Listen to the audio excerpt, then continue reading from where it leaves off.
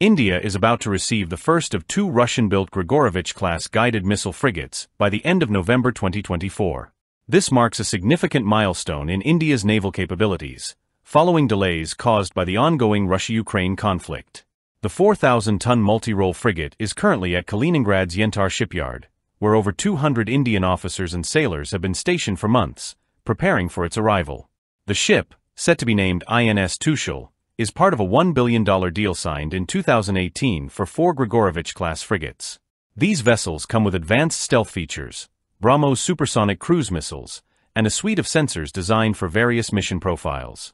INS Tushil will be officially handed over and commissioned by India's Defence Minister Rajnath Singh during his upcoming visit to Russia in December.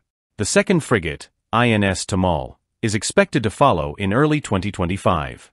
In addition to these Russian-built frigates, Two more are being constructed in India under a technology transfer agreement with Russia at the Goa shipyard. These ships will be launched and commissioned in the coming years, further strengthening India's naval power in the Indian Ocean region. India is also expanding its undersea warfare capabilities. The lease of a nuclear-powered attack submarine from Russia, initially expected by 2027, has now been delayed until 2028. India's second nuclear-powered ballistic missile submarine, INS Arighaat, has already been commissioned, and the third, INS Aridhaman, is expected to join the fleet early next year. The government has also approved a $5 billion project to develop two indigenous nuclear-powered attack submarines, although these are expected to take at least a decade to complete.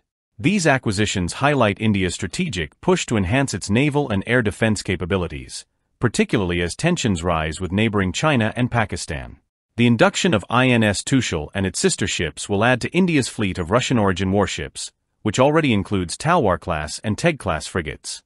As India continues to modernize its defense forces, these new assets will significantly strengthen its position in the Indo-Pacific region.